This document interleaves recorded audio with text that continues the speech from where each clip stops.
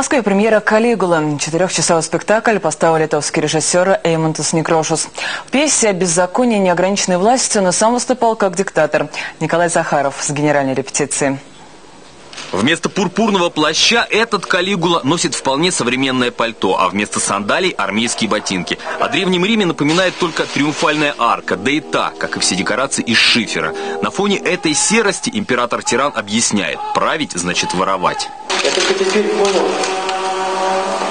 пользу власти. Она дает шанс достичь невозможного.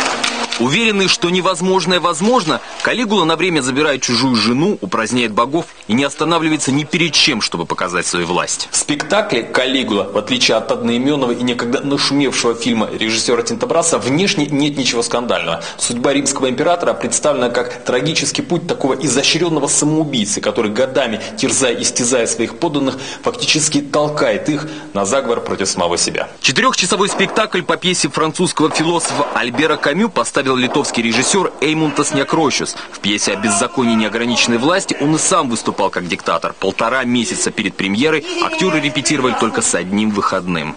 Артем добавил, что останется глух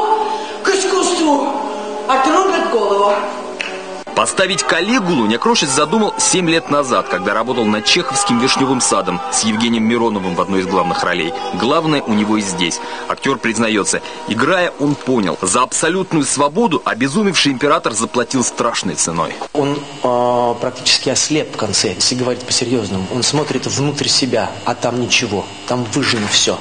Уже не в красном пальто, а в черном Калигула бросается в толпу патриции, которая пришла убивать его. Осколки зеркал в руках в полумраке сверкают, как лезвие ножей. Слегка изменив финал, режиссер оставил главное, заложенное автором. Безграничная свобода, она всегда за счет кого-то. А разрушая все вокруг, невозможно не разрушить самого себя. Николай Захаров, Антон Передельский, Петр Очередник, НТВ, Москва.